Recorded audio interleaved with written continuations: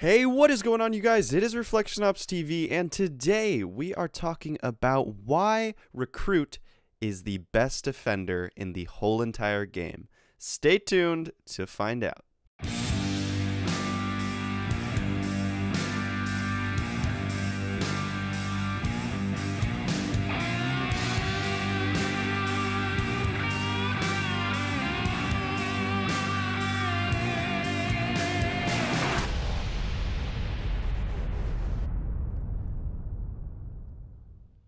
One thing that really used to bother me about Rainbow Six Siege is when I'm on a team and there's a recruit on the team. I used to think he was absolutely just unhelpful to the team, uh, probably incompetent. Anyone who is playing him doesn't really know what they're doing, and that was until I started using him. Now, a friend of mine started doing some research on the recruit class and actually started experimenting putting different guns together, and we found the perfect concoction, passed it over to me, and my entire life has been absolutely changed Thanks to one class. Now keep in mind that I have not used the attacker recruit as much as the defender. All my information right now is solely based upon a defender recruit. This recruit class actually helps out your team just as much as it helps you. So don't go thinking this is a selfish way to play the game, because it is not. And that brings us to point number one of why recruit is the best defender. Now for this example, we're going to look at the bandit. Now the bandit can only choose between barbed wire or a nitro cell, and that is it. Now looking back over at our recruit here,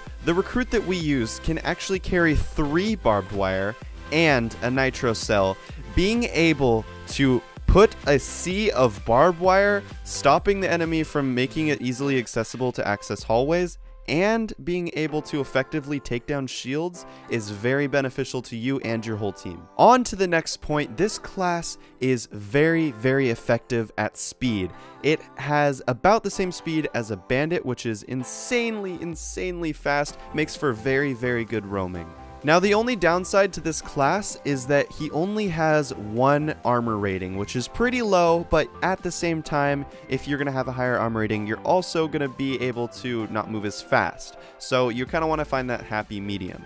But you will be better off if you have a rook on your team. When we do this in a squad, sometimes we will have a rook on the team being uh, able to provide us with armor so that we will be a little better off in the match. Now on to my next and Probably the best point of this class is the amazing MP7. I never ever used this gun until my friend recommended this whole class. I never thought it was amazing. I didn't have a point to use it. It was, it was always, everyone was always strapping ACOGs to SMGs, and it was just something that I never wanted to do, and I never ended up doing. So the best thing about the MP7, and which I never even knew until I used this class, the iron sights are amazing. As you can see, the iron sights you can still actually you have a field of view that you can actually see someone with your peripheral instead of the, you know everything being clogged up by metal like the P90. It is amazing. The gun has extremely low recoil and decent range, making it super super effective.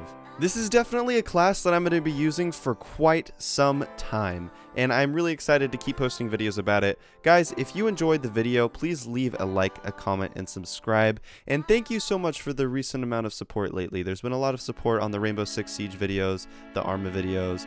Uh, pretty much everything I've been posting has just been getting great feedback, so thank you guys so much for that. I really do appreciate it, and I will keep the videos a-coming. You guys have a wonderful day. This is Reflection Ops TV. Peace out. They tell me to move on, it don't serve you right. They tell me to work hard. I've been up for a few nights. I've been doing this for a new life. Get my eyes shut for a new sight. If they love putting you down, go ahead, say fuck that too, right? I worried about what's ahead, worried about never getting that bread. Worry is constantly stuck in my head, so worried it's harder to sleep in my bed. I've read all of the comments you said, got me forgetting the things that I dread. Shining the hope that I'll finally make it. Taking and jumping my fall, you might break it. I faked it, pretending I'm somebody else. Traded my passion for somewhere the world.